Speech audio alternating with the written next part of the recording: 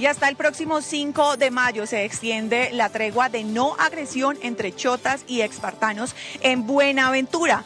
Así lo dio a conocer la delegación del gobierno nacional. Esta segunda fase de la tregua se acordó establecer un mecanismo de paz al barrio adentro para enfrentar la extorsión y el delito y el gobierno nacional se comprometió a desarrollar una agenda social en el municipio.